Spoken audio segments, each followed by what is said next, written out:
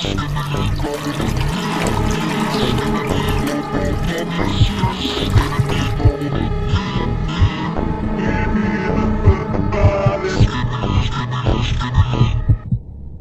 On our way to an abandoned facility I found on Google Earth. I couldn't find a single reference to anything about what this place originally was, but we're gonna do some urban exploring and investigate until we solve the mystery. I've got my friend Caleb here coming with us to check it out. Say hi, Caleb. Wait, do you even know if this place is abandoned? yes, it is. Come on, just play along. I don't want to have to do a lot of editing. Whatever, man. I don't care about your video. The whole idea is dumb. It's not dumb. You're just scared. Shut up. I'm not scared. I'm just tired of walking. Well, well, well. You can stop crying then. Because we're already here. Wait, really? Yeah, man. Check it out. Whoa, what is this place doing out here? Nothing anymore. It's abandoned, obviously. It's a lot bigger than I thought it would be, too. I don't think anybody's here, so let's go check out the inside. Uh, hey, wait up, man. I, I don't know if this is a good idea. Man up, bro. It's just a building. It's not gonna be haunted or anything. I've done this kind of thing before. But you don't even know what this place was used for, or what could be in there. Not yet. And I won't know unless I mess around and find out. No way. I'm not doing that. I'm gonna step on a nail or something. Dude, who cares? Let's go. No, dude, I'm serious. I'm sorry, but I changed my mind. I, I want to go back. Come on, really? Now that we're all the way out here, you want to go back? Why? I've just I've got a bad feeling about that place. Fine, you don't have to go in. We'll go back, but first I gotta go in there and find a toilet to crap in. What? Just wait! I'm serious, man. I ate a bunch of burgers and had like three Grimace shakes today. I gotta go. Are you crazy? Do you want to die a gruesome death? You're literally begging for something bad to happen to you tonight. Why don't you crap in the woods and get ambushed by a badger up my butt? Not a chance. You're either coming with me or you're waiting out here until I do my business, bro. Or you can walk home by yourself. There's no way I'm gonna go inside some dark, abandoned death trap just so I can watch you blow up a toilet that doesn't even flush anymore. you're funny, but you're a coward, bro. Just wait out here if you're too much of a wuss to get in on us. Fine, just don't get hurt in there, cause then I'll have to come save you. Like that's gonna happen.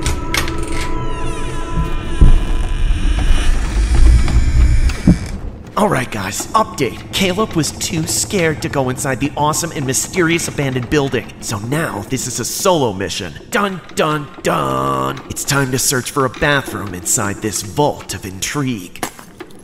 I can't see a thing in here. There we go. Now, let's take a little gander here. Huh, looks like some sort of lobby. It's actually not too bad in here. I also thought this place would be more open. Oh well, there's gotta be a bathroom around here somewhere. Probably down this hallway. Ugh, it's not so nice down here. smells kinda rancid. Check out this graffiti though. What's that say? Skibidi? Skibbity? What does that mean? Somebody wrote it over and over again. It must have been crazy or just uncreative.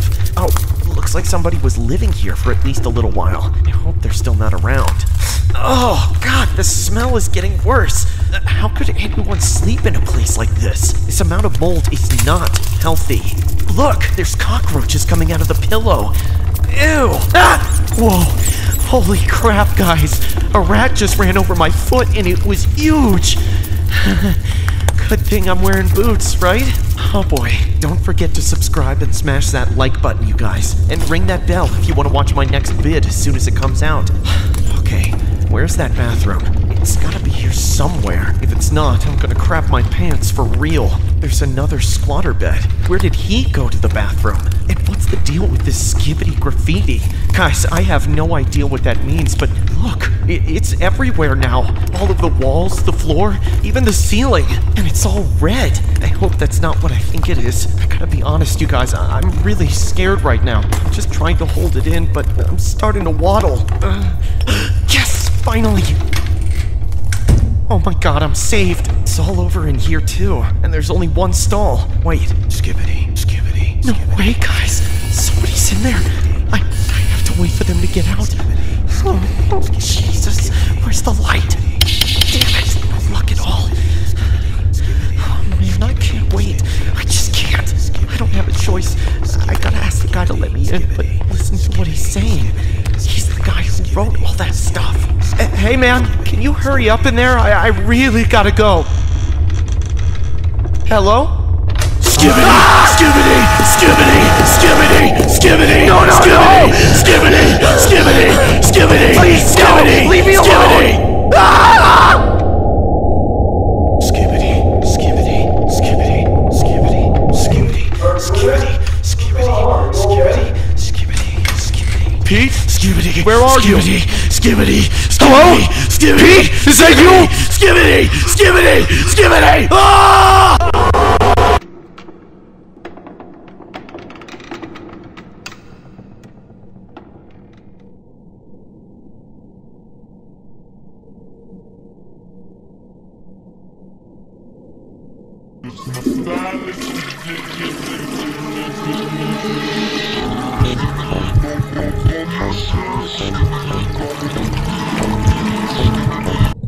The skibbity toilet trend has been blowing up on the internet, but all I see are memories of what really happened to me back when I was a teenager. I was friends with these two guys from school named Josh and Kyle. I didn't know either of them very well. We were just friends due to the proximity more than anything else. All three of us lived fairly close to one another and were in a lot of the same classes. One night, I was heading over to Kyle's house for a sleepover. Josh and I were invited over to Kyle's house for the weekend. I was pretty excited to just chill and take a break from school for a couple of days. Plus, his parents were apparently going to be out of town, so we had the place to ourselves. I got to Kyle's house a little late. I'd had some homework to finish up first. When I got there, Kyle answered the door almost immediately. I apologized for being late, but he told me it was no problem and waved me inside. When I went in, I was surprised to see that Josh was nowhere to be seen. It seemed kind of odd because Josh was usually right on time. Then I noticed his shoes in the foyer. There was no mistaking them as the guy's feet were several sizes smaller than mine or Kyle's, and Kyle didn't have any siblings. I asked if Josh was in another room, but Kyle just said that Josh was running late and would probably come over later. It all seemed pretty strange to me, but I shrugged it off and Kyle and I got on with the sleepover. Later on, we had been watching TV in the living room with the lights off for a few hours, and Josh still hadn't shown up. I couldn't stop thinking about it for some reason. It didn't make any sense. I had spoken to Josh earlier that day and he hadn't said anything about being that late. In fact, he said that he had made sure to finish up his homework yesterday so that he wouldn't have to worry about it. I had the scariest feeling that he had to be in the house already. Why Kyle wasn't telling me the truth about Josh's whereabouts was beyond me. I was honestly scared as hell to ask as I didn't know what Kyle would do to me. For all I knew, there was something really dark going on. What was even more unsettling was that I kept hearing a noise at random points throughout the night. It sounded like someone was saying skibbity over and over again from a distance. It would come and go every few minutes, never lasting for that long, but it was consistent. After it had happened a few times, I asked Kyle what it was. He said something vague about his dad using the washroom that didn't make any sense. Besides, he had told me that his parents were gone for the weekend. When I brought that up to him, he slowly turned and gave me a really creepy look. A few seconds later, he turned back to the TV without saying a word. I was really shaken now and was starting to feel very scared. Kyle had never acted like this before. I was honestly shitting bricks. Plus, I literally had to shit since I was so petrified. I asked Kyle where the washroom was and he told me it was downstairs and to the right. He never once took his eyes away from the TV while he spoke. I got up and walked out of the room pretty quickly. I was happy for an excuse to get away from Kyle for a moment. When I got to the stairs, I started to feel even more afraid for some reason. My breaths were coming out very shallow and my legs didn't want to work right. It was like I was walking through tar. Every step felt difficult. I slowly forced myself to go down the stairs. And as I did so, I started to hear the skibbity sounds again. They seemed to intensify the further downstairs I went. It sounded like they were coming from inside the bathroom. Just when I was considering leaving and going back home, I suddenly had the thought that this was most likely all an elaborate prank that Josh and Kyle were pulling on me. Josh had to be the one downstairs making the noises. It all made perfect sense. I was going to open that door and find Josh laughing his ass off on the other side. I felt relieved and opened the door to the bathroom to tell Josh off.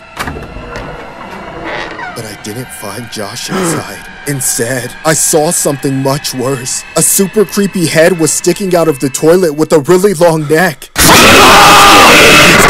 It was twisting around jerkily and saying skibbity over and over again. I stood there frozen until it suddenly turned toward me and started yelling stuff at me. It looked like it was trying to break out of the toilet and come after me. I ran back upstairs and got the hell out of that house as fast as I could. I didn't stop until I was all the way back home. After that night, I dropped out of school and never contacted Josh or Kyle again. I have no idea whatever became of Josh. I think Kyle and his dad might have did something to him, but I never heard if he was alive or dead. I swear that what I saw in that bathroom had to have been some sort of demon. There was no way in hell that a person could stick their head out of a toilet like that, let alone have their body inside of one. I can't say for sure though. For all I know, Kyle and his dad were psychos who lured students to their house so that they could pull sick pranks on them. I'm still conflicted. I really think that it may have been something supernatural, after all. I saw it with my own eyes. It couldn't have been human.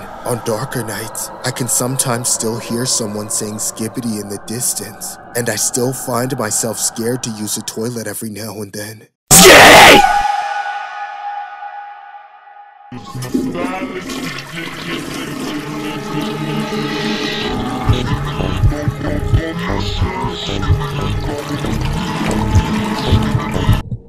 I was halfway home on the bus when I had to get off at a random stop to find a toilet. My stomach hurt so bad it felt like I was about to explode, so it was definitely an emergency. Unfortunately, a lot of the bus route went through some pretty sketchy parts of town. That was just how seriously I needed to find a toilet.